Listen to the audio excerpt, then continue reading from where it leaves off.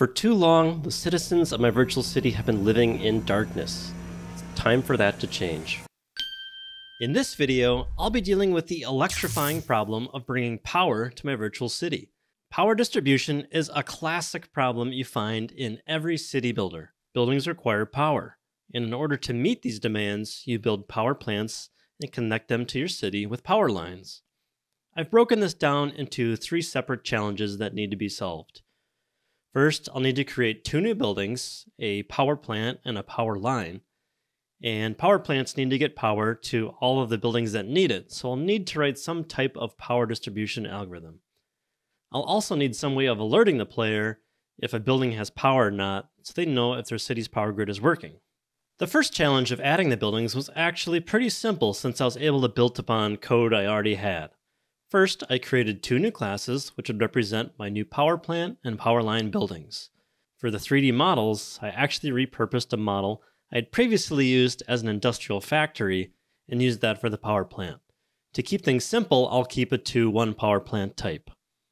After making some slight tweaks to the power line tower, the next task was writing some code to draw the power lines. I would draw two power lines to the edge of the tile based on whether or not there was an adjacent power line. I'd like to eventually update this so there aren't towers on every tile, but this works pretty well for now. Alrighty, strap in everyone because it's time to write our power distribution algorithm. Let's start by defining some variables on our power plant and building classes. The power plant has three different variables. The first is the power capacity, which is the total amount of power our power plant can supply. This value doesn't change and is tuned based on the type of power plant. The second variable is the power consumed. This is the total amount of power at any given time that the city buildings are consuming. And the third and final variable is the power available. By subtracting the power consumed from the maximum power capacity, we get the remaining amount of power available. Each building we supply power to will consume a little bit of the power plant's power until its capacity is exhausted. So what about the buildings that are consuming that power? Those will need just two variables, the power required and the power supplied. A power plant will supply up to the amount of power required, but not more than that. Some buildings like roads don't require any power at all. With our variables figured out, it's time to write our power distribution algorithm. I thought an illustration would be helpful here. Let's start by adding a grid that represents the various tiles of our city. Next, let's add some power plants, homes, and office buildings. Maybe a road for good measure. First, we'll start with a clean slate by initializing the power variables. For the sake of this illustration, let's say that each power plant can supply up to a total of 2 units of power. We'll represent this as 2 units of power available out of 2 units of power capacity. Similarly, each office and home requires 1 unit of power. Since we haven't distributed any power yet, we'll represent this as 0 units supplied out of 1 unit required.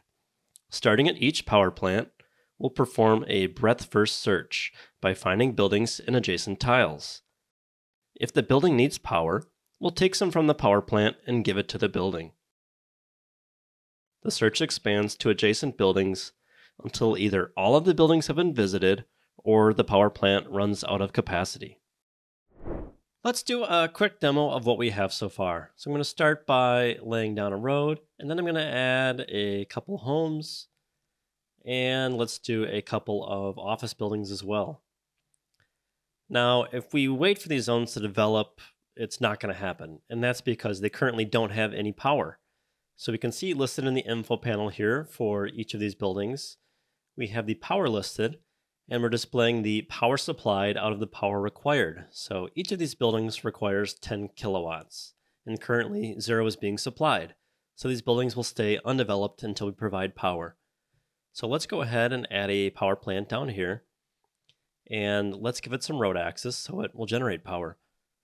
Now, if I click on the power plant, we can see that its capacity is 100 kilowatts, and currently 0 kilowatts are being consumed, which means 100 kilowatts are available. So let's connect our power plant to our zones. I'll take some power lines and I'll connect them from the power plant to the zones. And immediately we can see that our power consumption has gone up to 70 kilowatts, which makes sense because we have seven zones, each consuming 10 kilowatts. and that means we have 30 kilowatts left available. So if I were to lay down, let's say, two more industrial zones, you can see that the power consumption goes to 90 kilowatts. If I add one more, it goes to 100 kilowatts. And we'll let these zones develop. And now we're at the maximum power capacity of our power plant. So if I add any more zones here, we can see that this one here, the power supplied is 0 out of 10. So all of these other buildings are getting the power, but there's not enough power left for this building. Additionally, we can see that this building has become abandoned because another building that we placed is now taking its power.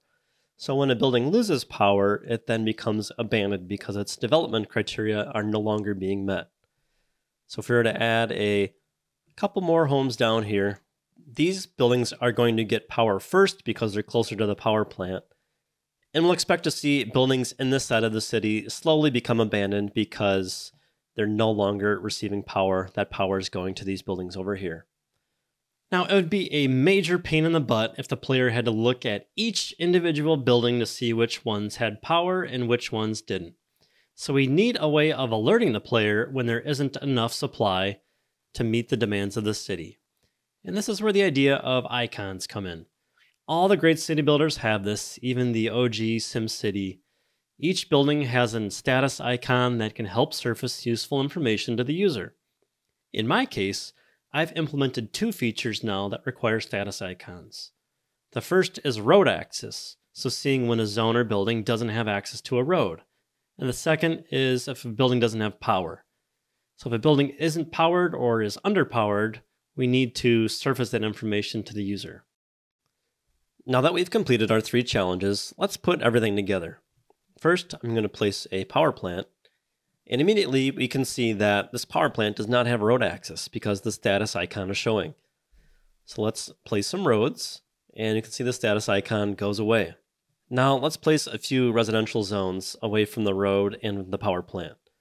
So immediately we can see that these zones are lacking power. So let's run a power line from our road here over to the zones. And now the status icons have updated to the no road access icon. So while these zones have power, they don't have road access. So let's finish our road by bringing it over here. So we can see our status icons go away and our homes are now developing. So as I was working on this update, there were a few other tweaks I ended up including. The first was updating the lighting. The default view had the player looking at the dark side of the buildings, which made the city look kind of dark and depressing. So I moved the angle of the sun a little bit and also made it more direct, more top down to make the shadows smaller. The second was a bit of an update to the UI. Previously, I was using a rounded appearance for the UI with these white icons. After finding the color status icons, I decided to make the same changes to the toolbar buttons. I'm really happy with this change, and I think it's a huge improvement that better matches the aesthetics of the game. I've also removed the majority of the curved edges on the UI elements, as it made things feel a bit too cheesy. And lastly, I added this new armored truck model that I found. It never hurts to add a little extra variety to the game. If you've enjoyed this deep dive into how I implemented a dynamic power grid for my city, please be sure to hit those like and subscribe buttons. And if you're digging what I'm doing, please consider supporting the channel by becoming a patron on Patreon. You can find a link in the description below. Until next time, thanks for watching.